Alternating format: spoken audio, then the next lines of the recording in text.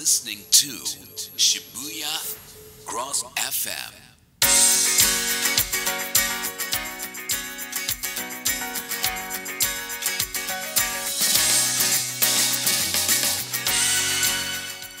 皆さんこんばんは。毎週水曜日夜10時から鳥羽明美のミラクルくるくるがスタートいたします。ハロー。っていう感じですけれどもはい、えー、1週間あっという間ですね。前回は、えーどこから帰ってきたっけ？沖縄から帰ってきたかな？こんばんは。ありがとうございます。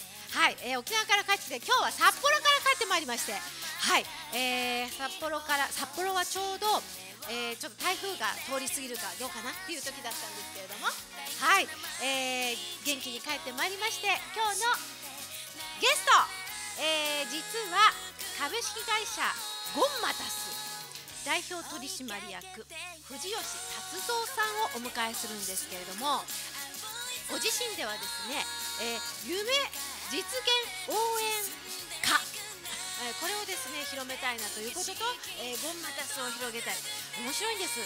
ゴンマタスって何ですかって言ったらですね、えガンダムみたいにガンダムはガンダム？ガンダムみたいなブランディングしたいぞっていうようなお話をされてましたので、まあ、そこのところもお話を伺いたいんですが一般的には、まあ、コーチングそして、えーまあ、あの執筆活動もたくさんされているので、えーご本なんかも今日はお持ちいただけてますので、えーご紹介させていただきますがうんなんかね共通点は、まあ、海外ということとそれからなんかね人のために何かしたいな貢献したいなっていう気持ちがねとっても旺盛な方で、えー面白い方です、えー楽しみにしていただきたいですしなんとご本にテーマソングもあっちゃいます。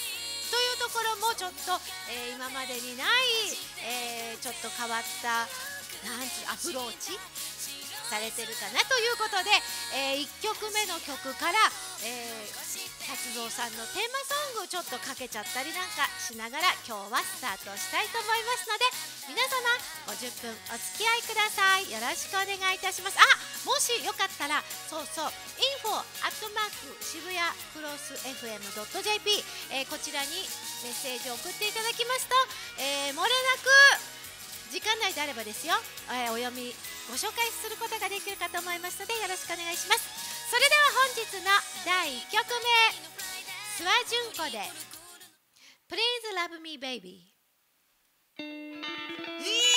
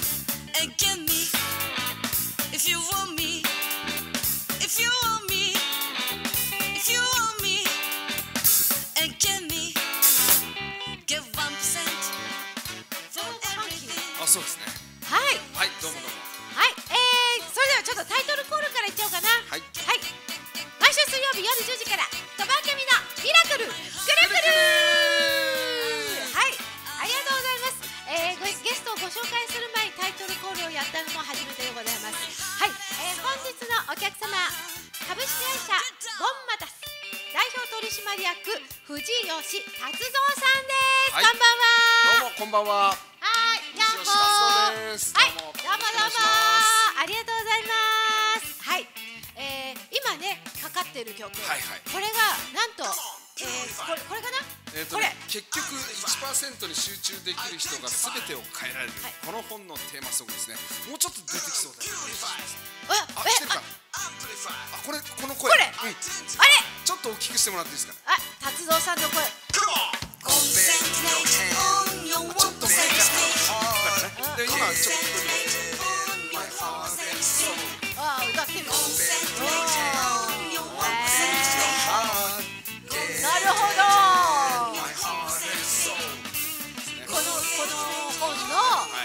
テーマソングですね。ビジネス書のくせにテーマソングがあるというねこれがちょっと珍しいところなんですね。そうですよね。映画にもねテーマソングってありますよね、はい。映画が終わった後にエンドロールが流れてる時に流れると、でその劇中には流れないんだけどテーマソングってのあるじゃないですか。本の内容に、まあ、絡めてはいるんですけど、い。イメージソングというのをでですすね。ねえー私のねコーチングのお客様でもある諏訪純子さんに作っていただきまして。なるほど。でちょっとだけねあの声が聞こえてましたけど私もいろいろアイデアを出しましてですね。はい。実は今の曲はジェームス・ブラウンみたいな曲作ってくれませんかとなるほどなるほど。お願いをしたんですよね。なるほどですねいやジェームス・ブラウンどういうあれですかねなんですねいやこういうの聞いてあれも聞いて。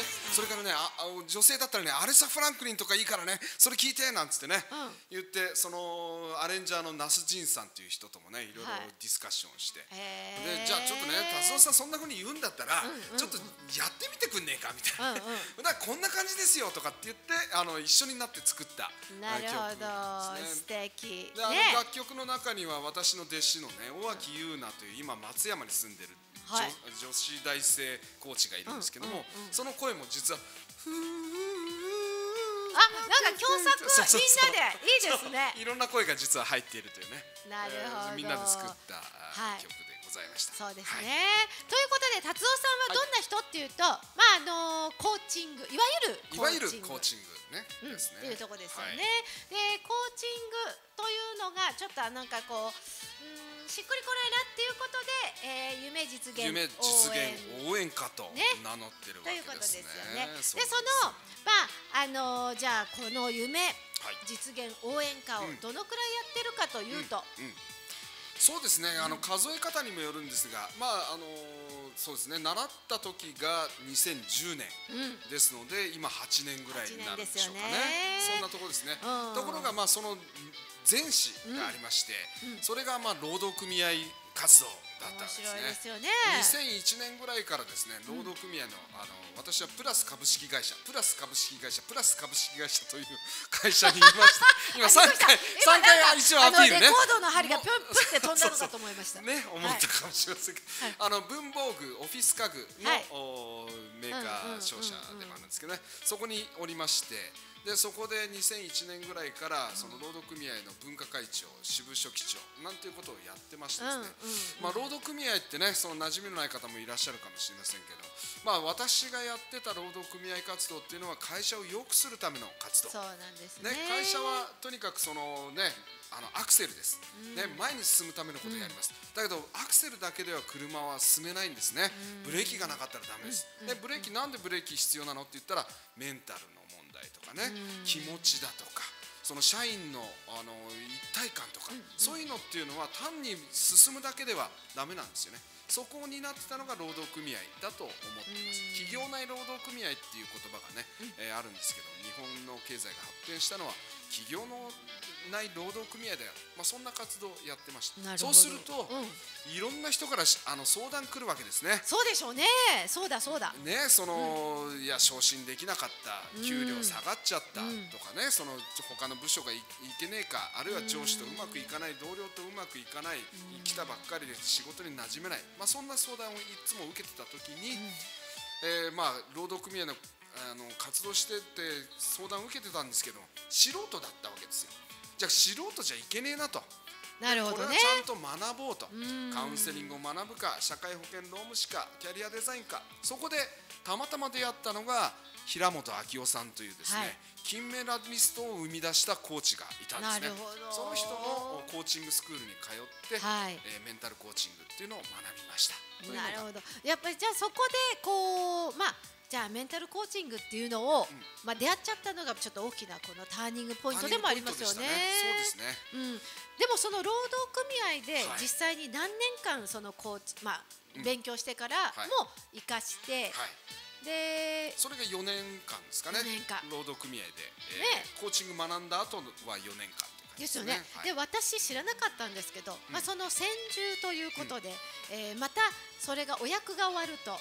また元の職に戻る。そう。なんですね、えー専従という言葉があるんですけどね、会社を休職してそして労働組合の仕事だけをするっていう仕事を8年間やってたんですけど、その後半の4年間が、まあ、コーチングを学んで以降なんですけどね、8年終わった時にですね、いよいよ今度は職場に戻りますと、でも8年間というとですね浦島太郎なんですねもう社内の仕組みは変わってるわ。例えば営業マンに戻ったとしたらね商品全然知らないですからね。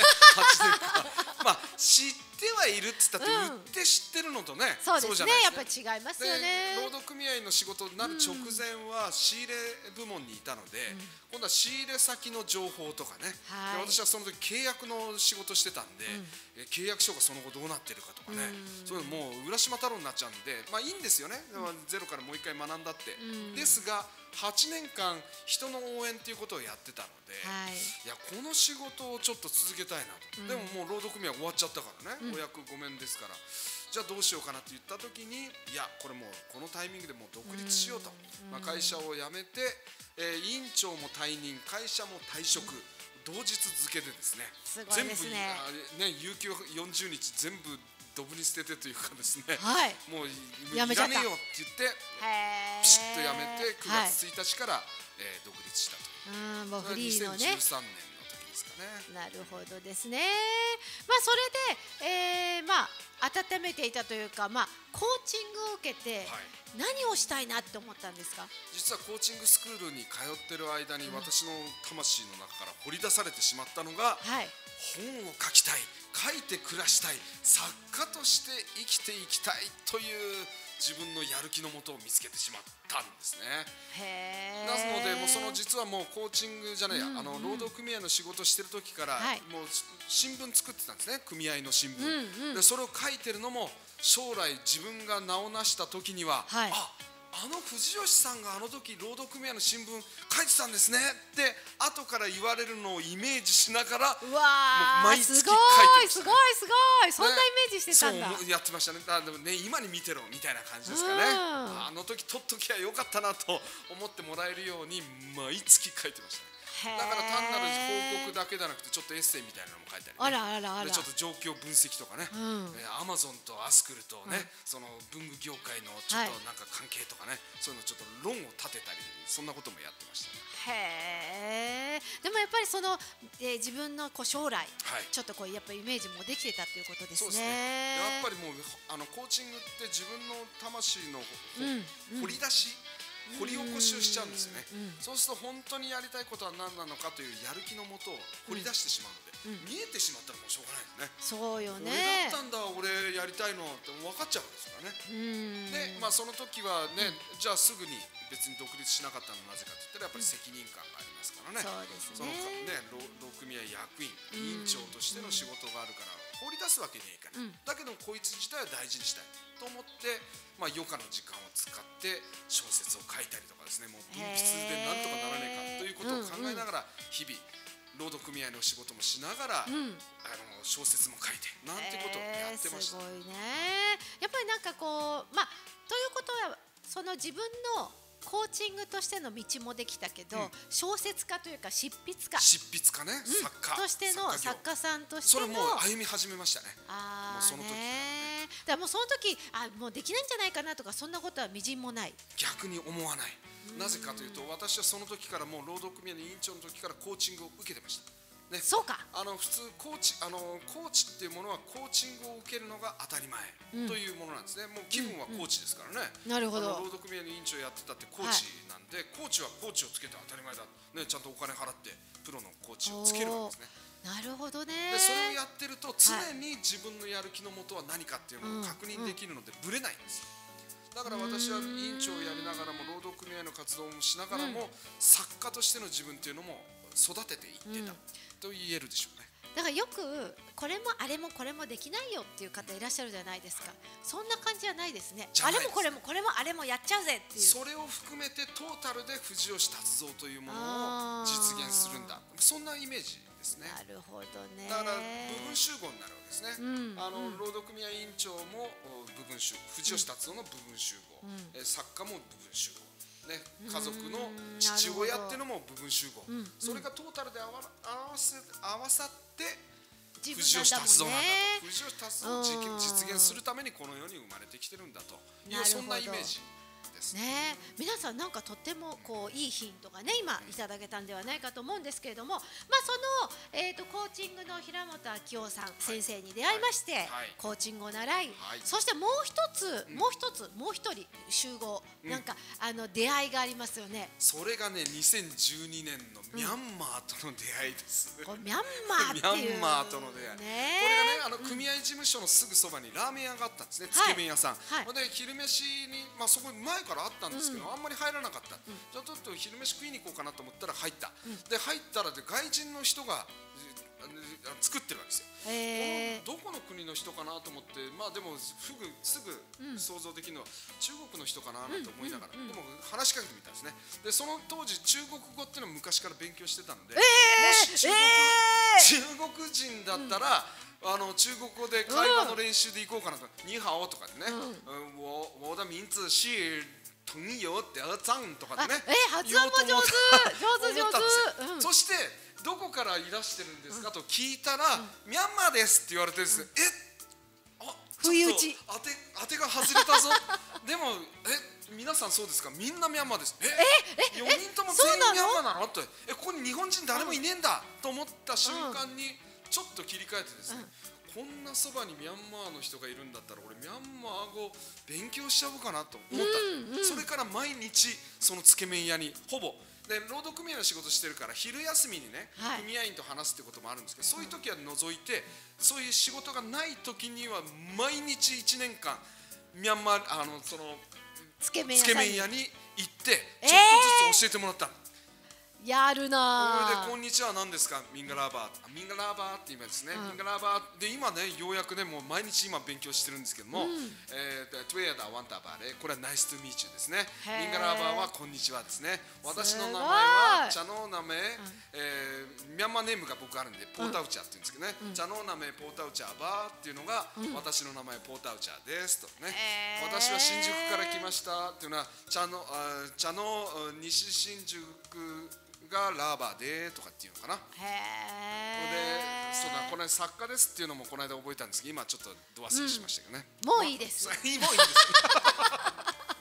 そうそうミャンマー語をねその少しずつその時から、あの教えてもらって。でそんな時に会う時に、そういえばミャンマー料理って食ったことねえなと思って聞いたんですよね、ミャンマー料理店なんてあるんですか？って聞いたら、高田馬場にいっぱいありますよって言われえー、て、嘘じゃあちょっと連れてってくださいと言って、うん。深みにはまっていったんですね、ある日の日曜日ミャンマーのあの高田馬場のミャンマー料理店に連れてってもらい、ミャンマーの歴史から軍事政権の話から、民主化運動とアウン・サン・スー・チーさんの関わりをぶわっと聞いて「へえ面白いですね」と「じゃあもう一軒行きましょう、ミャンマーのカラオケがある店があるんですよ」と言って、えー。そこに行ったんですよ、そしたらもう40人ぐらいのミャンマー人がいて日本人ただ一人。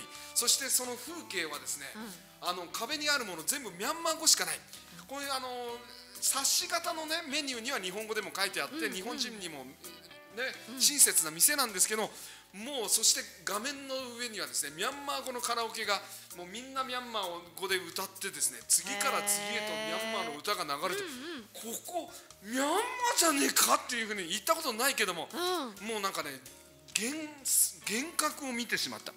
へでミャンマーに俺行くかもしれないってその時ちょっと思っちゃいましたね、思ったその経験からその後ミャンマーに行くようになっちゃうね。だミャンマーとのつながりがね今もあってね先ほどの、えーっと諏訪純子さん。諏訪純子さんも、達三さんプロデュープロデュースと言っちゃうとちょっとまた怒られちゃうけどね,、はいコーチをしてであのねなあっという間にミャンマーで売れちゃったっていう、ね、2014年あの結構ね私の本には諏訪純子さんの話がねエピソードがいっぱい出てくるんですけどはい。も、、またぜひちょっと、はい。あの皆さんね諏訪純子さん、ここで見ていただくということでまあ本もたくさんあるんですけど、ここでまたテーマソング入れちゃおうかな、テーマソング。はい。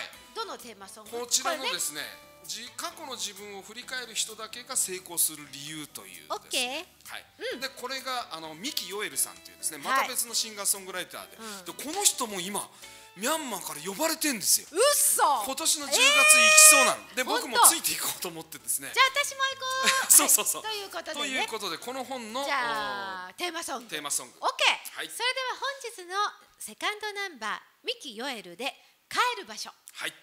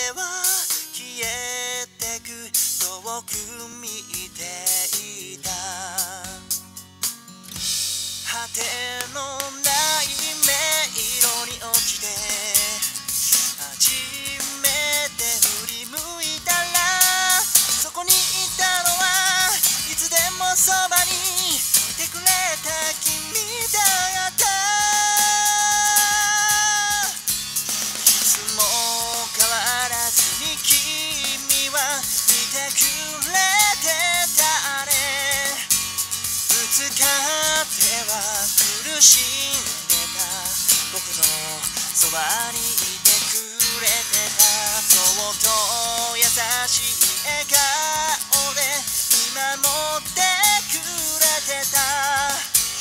君がいることでこの先もどこまでも行ける。帰る場所だから。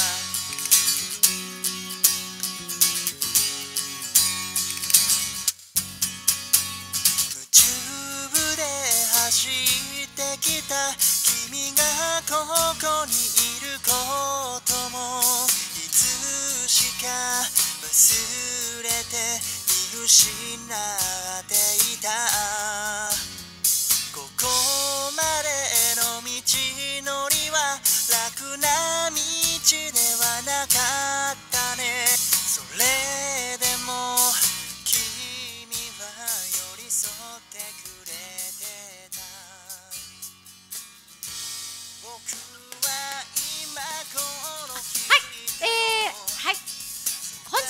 カンドナンバーミキ・ヨエルで帰る場所をお届けいたしました。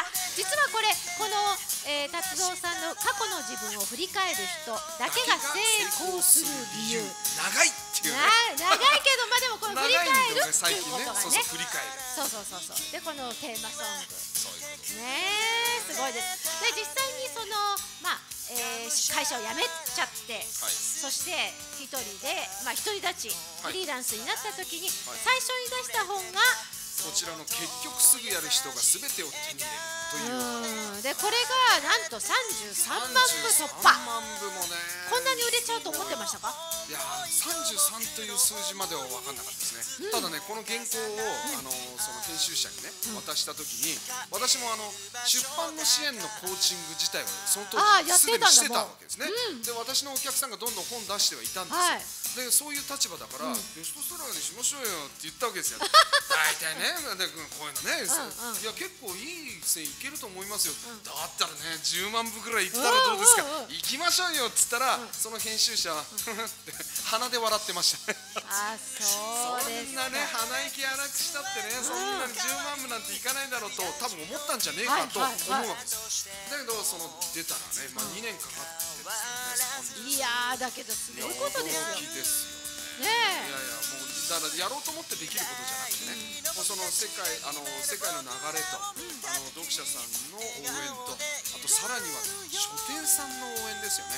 ここが大きいみたいですね。これは売れると思っていただいて見込んでいただいて積んでいただいて、ね。これがないと売れないんですよ。だから33万部も売れたんですとは口が裂けてももう言えない。33万部売ってくださったんです。ね。なんですよね。なるほどいやね本当にもうね、うん。全国のお書店さんのおかげだとありがたいですね。思ってるので、えー本当感謝して。おうん。でこの結局すぐやる人が全てを手に入れる、すぐやる人、ポイント一ついただけまこれすか行動するということが現実を変えるという、ここにもう一点に尽きるでしょうね、だけどもそんなことはみんな分かってるんですそようなのよ、ね。そうなのよ。じゃあどうやっていいかが分かんないから、そこに答えが書いてあるのが気分の調律と視座の転換。これなんですね。これが、まあ、行動をするために最大重要ということなんですね、だからモチベーションが高いとかねやる気があるとかそんなことよりも気分が上がってなかったらですね理由があっても動けないんですよ。なるほど。なんかもうダメだなと思ってて、でもね、うん。ああいう夢があるしこんなこともやりたいんだよね、うんうん。つって行動できない、だったら気分上げちゃいましょうと気分を上げるための方向っていうのはイエーイ。5つあるんですよなんていうことをねこの中には書いてるわこれみんなどうぞ買ってください。そうですねこちらね。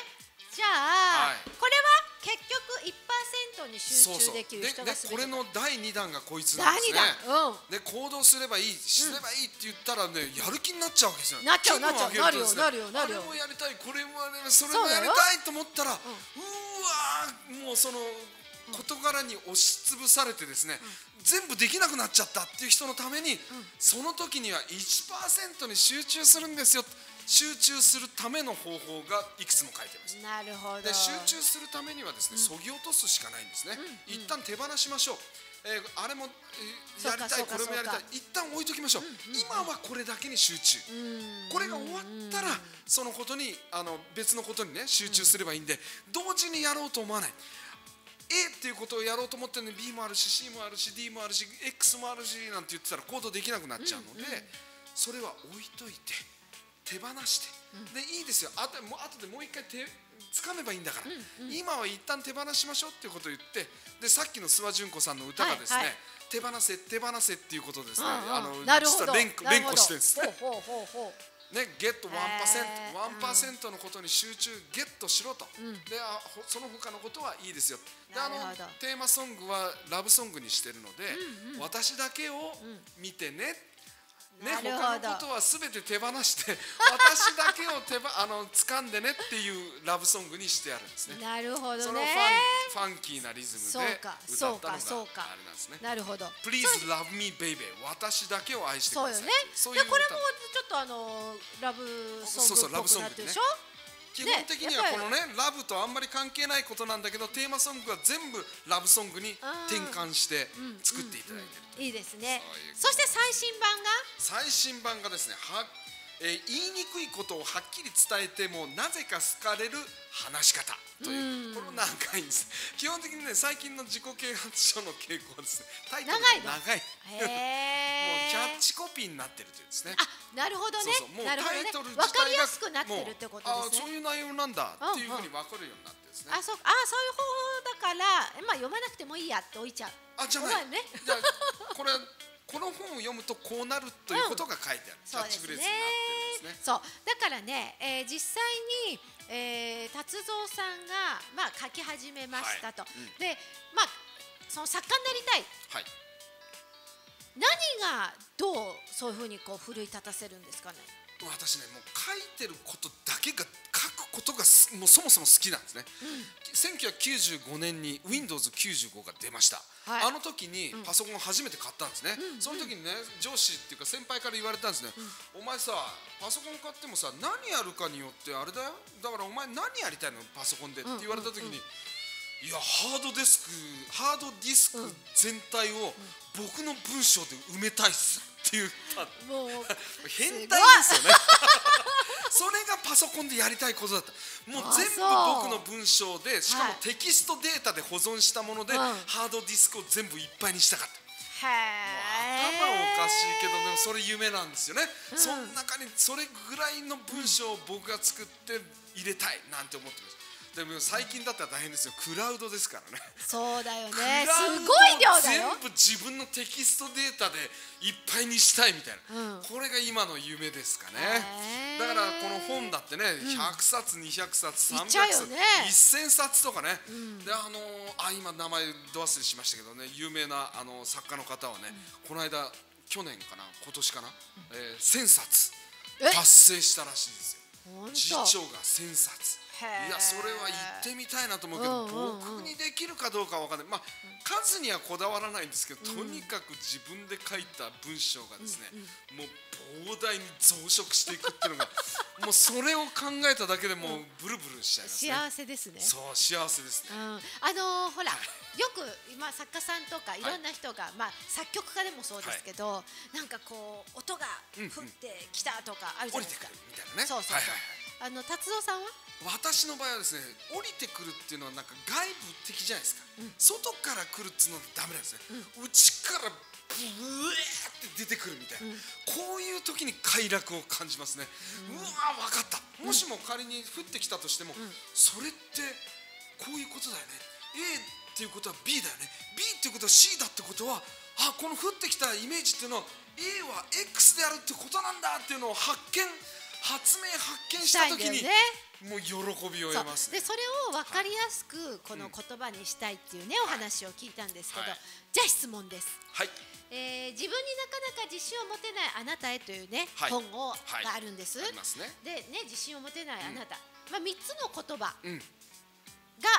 こうあって、そうそれがをこうこう、生み出したんでしょ？そうなんですあの自信を持つためにっていうとですねいろいろもう心理学の本でもいろいろあります、まあセルフコンフィデンスとかね、セルフエスティームが大事だとかね難しいな。自己効能感だとかなんだとかいろんな概念があるし、言う人によってみんな違う、だからそんなにあると分かりづらいんだけど、自信持ちたいんだから、もっとシンプルにいこう。じゃあ3つにまとめます、一つは自分は主人公だこれが一つ。主人公だ。主人公だ、で2つ目は、私ここにいていいんだ。いいんだ。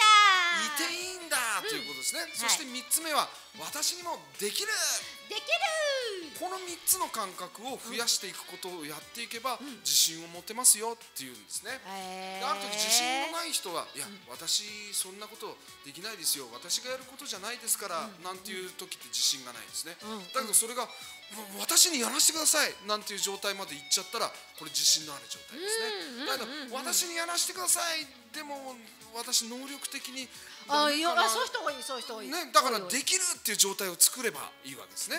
でさらにここにいるっていうのがですね例えば新しい部署に行っちゃった時にですね私ここにいていいのかなこうんなるともう自信下がっちゃうんですよ。能力ある。ね例えばもう外資系に転職しましたなんていう時には英語できるから大丈夫ですと思ったらその仕事について全然分かってなくてそうわできないと思ったら自信なくなっちゃう、だったらばそういうのを一つ一つ増やしていけばいいんですね、私がやる必要があるんだということを理解していく、できていることはここまでだと思ったらちょっと増やしていく、私はできてるできてるできてるできてるできてるできてるっていうのを増やしていけば自信が高まっていくんですね、いていいんだということが分かんなかったとしたらコミュニケーションをとって友達増やしていくとですね、あ私にも居場所があるんだって思えればどんどん増やしていけばいいんですよ。そうだ。居場所大事ですね。居場所がないだけでもう能力発揮できないんですよね。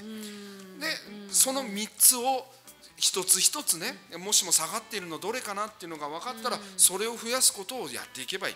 できないと思ったとしてもできることをどんどん発見していけばここまでできてるじゃん。私にもできてるじゃん。私にもできてるじゃんってやれるわけですね。でこの本あのその本をね今ここないんですけどその本を書いてた時に発明発見しちゃったのがこ何のこの3つの要素が含まれている私たちの活動があったんですよ。それは何でしょうっていうことなんですね。皆さんも考えてください。ね？ち私はねち主人公ちいていいんだできるこれが含まれてるもの。ポーン！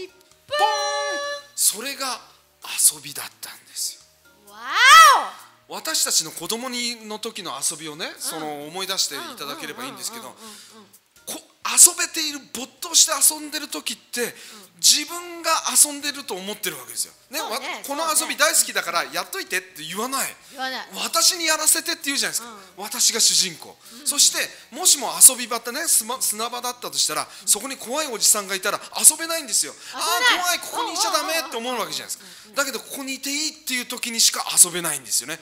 しかも砂場遊びでも鉄棒でもいいけど、うできないと思ったらやらないんですよ。やらないやらない。ねやれるのだもうそうそうやれることをやるんですね、だできると思ってるんですね、うん。あのこの地震の3つの3条件が全部満たされるのが遊びなんです、この大きな発見をしたわけですそう。ねだから私たちは日常生活の遊びっていうものをどんどん増やしていけばいくほど自信が増えていくっていうことも発見しちゃったんですよ。この発見もう執筆の動機ですね。ね。もう書くことは執筆するということは説明の仕方の発明発見であるというのがまた発見しちゃったんバですね。イエジソンみたいな。そうそうそうそう本当にね書くことで発明発見しちゃうんですよね。これがもう書く喜びですね。発明発見の喜びを得たいがために毎日毎日書いてる。で書く時にもねでも書けない時あるけどね達夫さんどうしてるんですか？ってよく聞かれるんですけどその時に私はこう言ってるんですね。書けたら書く書けなくても書く。書かなくても書くっていう書くの三段活用っていうことで書いてるんですね。でそれ活用してんね書かなくても書くってなんだっていうね。でそれもう画面を開いてるだけみたいな、もう今日書けないんだけども画面書いてる、でそれでね他のことしなきゃいけないね、えーウェブページをやんなきゃいけないとかね。原稿は書けない、だけどもワードあ私は一太郎使ってるんですけど一太郎のえちょっと待って。一今も太郎一太郎なんかあるあるあるもう最新版ありますから、え一太郎の方が書きやすいです。裏返っちゃったよ。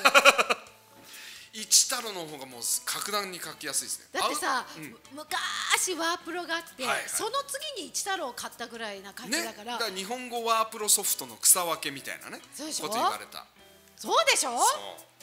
いまだにえーあんの？2018年バージョンがありますかたまげた。ら いやあれがねアウトライン機能っていうのがすごく使いやすくて、うん、こうね文章のね。文章のこういうのをね、入れ替えができるんですよ。そう。でワードより全然いいですよ。いいんだね、なので私は一太郎で。すごい発見。うわー失礼しました。いつもでもワード形式で保存して編集者に送ってるんですけどね 作業環境は一太郎何それ。保存形式はワード形式という。てことはやっぱり外部の方は使ってないからね。そうよね。使ってない編集者は使ってないです。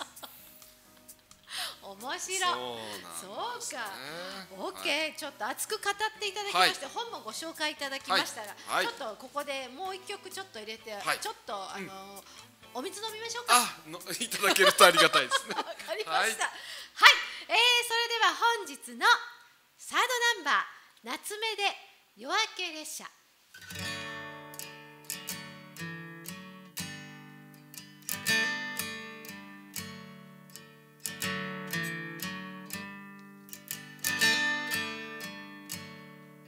終わりの見えないこの街の外れ歩道橋の上電車の音を聞きながら僕ら手をつないでる。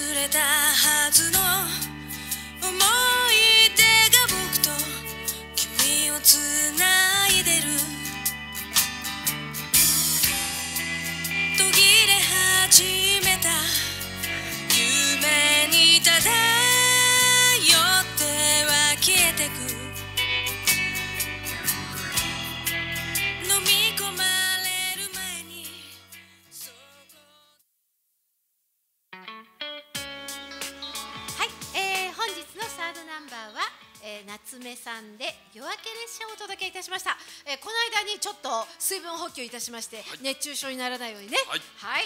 えーありがとうございます。励みましたけれども、えー、メッセージを頂戴しましたのでご紹介させていただきます。はい、えー、鳥羽さん藤吉さん渋谷クロス FM スタッフの皆様こんにちは。こんにちは。はい、えー、ラジオネームアルマです。あ、アルマさんいつもありがとうございまありがすとうございます。はい、はい、なんてことでしょう。渋谷クロス FM 開局3周年になりますね。えー、おめでとう。鳥羽さん久しぶりにメールしますが、えー、でも聞いてますよーって。うんありがたいですねありがとうございます。ぜひですね、あのー、アルマさんもちょっとなんかこうすぐやる人、ね、きっとアルマさんもすぐやる人だね。ねえーメールね。すぐメールしてくださいねありがとうございます。はいはい、そして、えー、まあ、あとね、残り5分しかございません。あ、うんあっという間ですね。うんあっという間なんですが、いいですねあのーまあ藤吉達也さんの。達蔵 達蔵さんの、は達蔵さんの。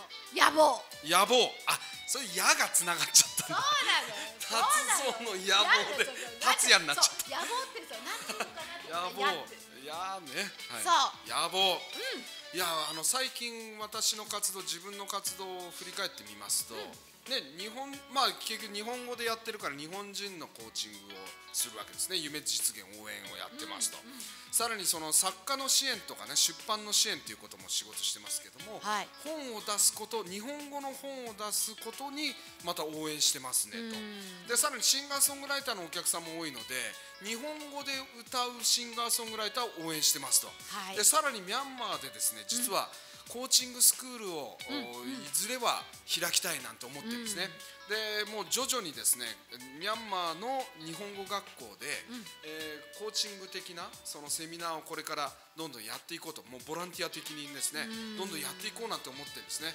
でそうやって総合してみると、あ私はなんか日本語に関することをやってんのかなと、自分の執筆もね、日本語で本書いてるんですけど。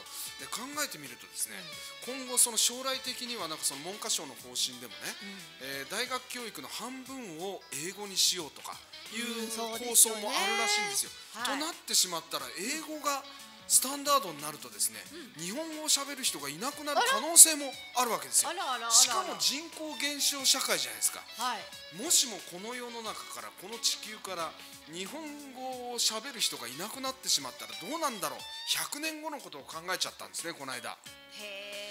これはやばいぞと、ね、日本には「源氏物語」もある。そうだ。古事記もある。でさらに翻訳文化という意味ではね日本語の中に世界の文化が翻訳されて全部ある。そしてね「Thank you」という言葉では表せない「ありがとう」という言葉がある、ね、おもてなしというものがない、あ外国語ではないとかもったいないという言葉が外国に翻訳できない。なんていうことがあるとすると、日本語をしゃべる文化の共同体というか人々がいなくなってしまうとですねその価値観すらこの世から消滅してしまう可能性があるんですね。で100年後にああ日本語なくなってしまって残念だなと思ったことを先取りしてですね、その時点から振り返ってみたら100年前のあの人たちが日本語をもっとちゃんとやってくれたら今なくなってないのにねと思うんじゃねえかなと思ったわけですよ。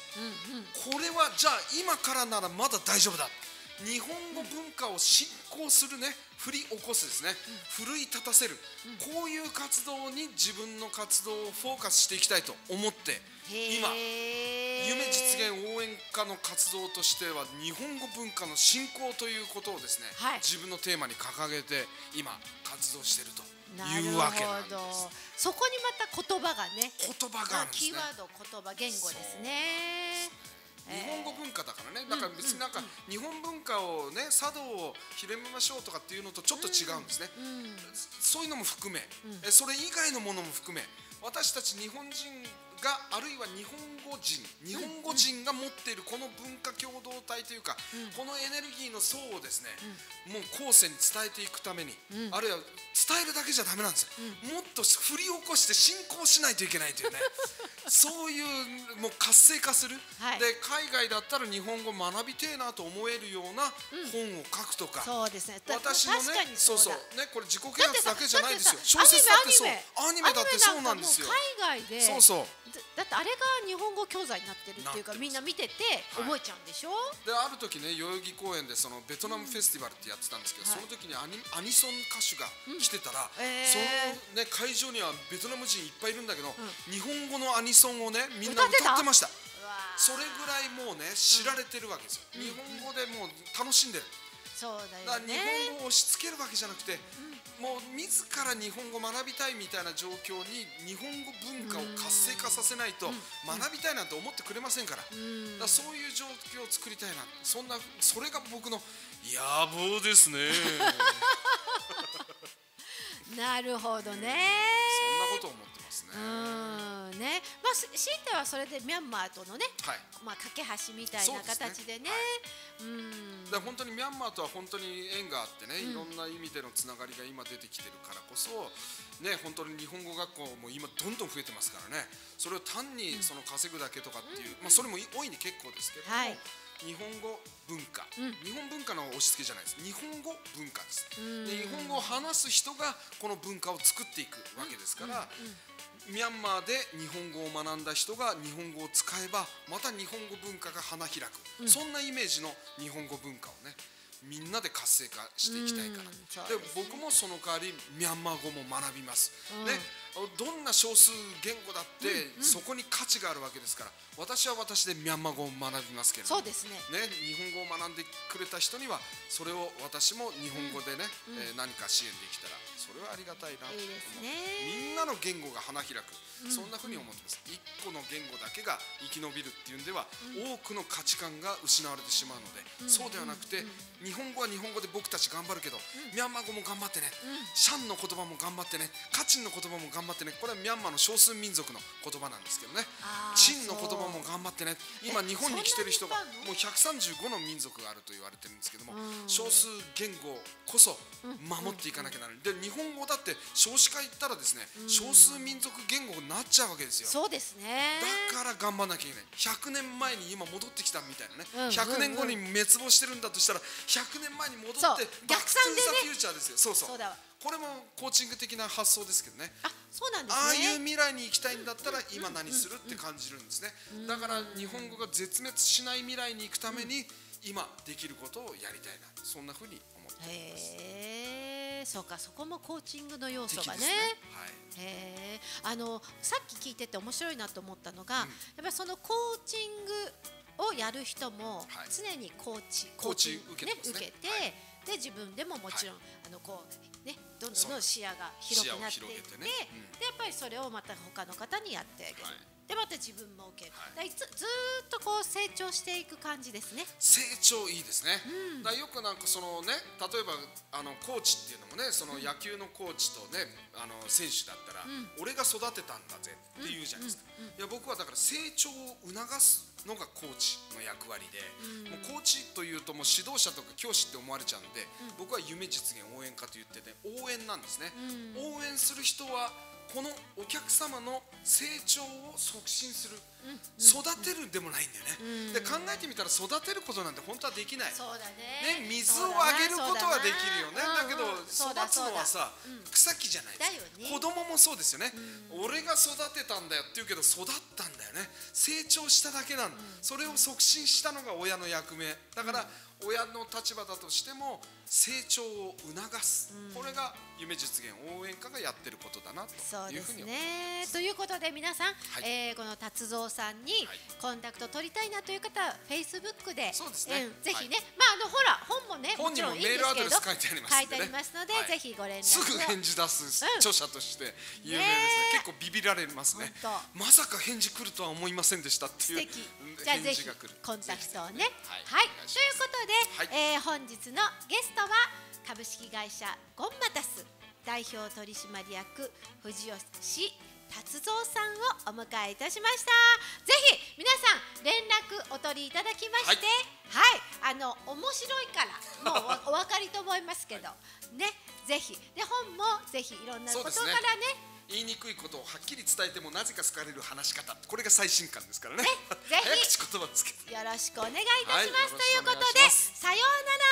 またねまたね